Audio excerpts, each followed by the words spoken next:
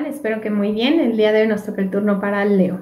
Y vamos a empezar con la cartita de la ley de la atracción y esta dice, I am rediscovering the art of allowing my natural well-being. Estoy redescubriendo el arte de permitir mi bienestar natural. We call this discipline the art of allowing. It is the art of allowing the well-being, which makes up every particle of that which you are and that which you come from, to continue to flow through you as you continue to be.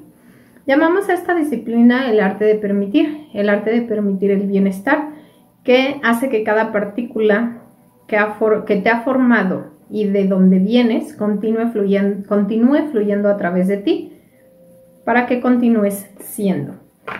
Ahora nos vamos con la cartita de los ángeles. Recuerda que en esta cartita no le vamos a dar mucho pensamiento, simplemente lo que sea que se nos venga a la cabeza en el momento de estar viendo la cartita, eso era lo que teníamos que pensar, que sentir, que saber, ¿vale? Y esta nos habla de verdad e integridad. Y nos vamos entonces con la pequeña tirada interactiva. Recuerda que únicamente tengo mis arcanos mayores, por lo que necesito que te concentres en una pregunta cerrada. ¿A qué me refiero? A que tu respuesta tiene que ser de sí o no. Recuerda que te voy a dar dos opciones, vas a seleccionar una de esas dos opciones y esa será la respuesta a tu pregunta. Esta es la opción número uno y esta es la opción número dos. Para aquellos que seleccionaron la opción número uno, la respuesta es un sí. Y para aquellos que seleccionaron la opción número dos, la respuesta es un sí también. Pero no hay que dicho, ya vi que el maquillaje está todo corrido. Bueno, ahora sí, nos vamos entonces con la tirada o el horóscopo. Recuerden que, aunque yo les estoy dando un horóscopo semanal, esto no quiere decir de ninguna manera que lo que sea que yo les esté diciendo ocurrirá dentro de esta misma semana. Puede ser que pase más tiempo y que apenas esté dando lo que sea que yo les esté diciendo.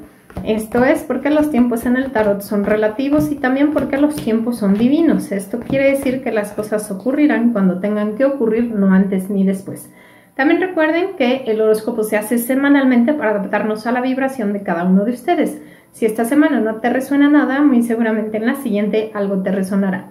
Y pues bueno, una vez aclarado todo esto, nos vamos con el área de la salud. Puede haber dolor de cuello, de articulaciones, en general rodillas, cuello, codos, ¿no? Todo lo que es flexión, este, ansiedad